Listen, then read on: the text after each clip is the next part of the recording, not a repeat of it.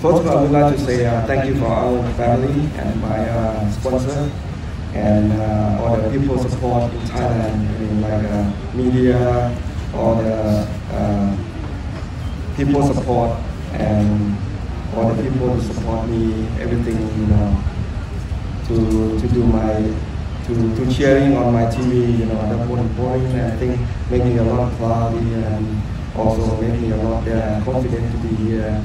I'm really enjoy to be, you know, play golf in here. I think very difficult to make it uh, anything to, to be on tour. I think that my, my first time to be, to be win the Champions Tour. That's why I say, you know, very thank you for everyone. I think uh, to support me, everything. That's, that's it. Uh, Dr. How much uh, pressure did you feel and how did you manage that pressure? Yeah, exactly. Everything we got pressure on, you know, the make me everything we know how to uh, protect myself to be uh, here like a more relaxed, drink a lot of water. If you got any pressure on, I mean, like 16 make me anything fell down a little bit. I thought my one is 16, the more important, more than my theory going down because I see this one of easy to make birdie if you had a good tee shot because it's par five.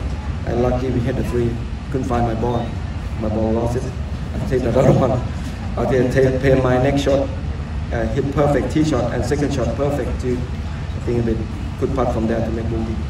And the key is chain, I think 17. I hold a long putt on six, um, 17. That's why give me a lot of chance to make on the last one. To make, I think not easy, you know. Pressure, uh, a lot of pressure on, on, on my tee shot too. I have to call, keep the ball in play. And second shot, I know this hole is going to be very tough to play another 18. I think um, it's finally we make par, win by one. I think it's very happy with that. Couple more.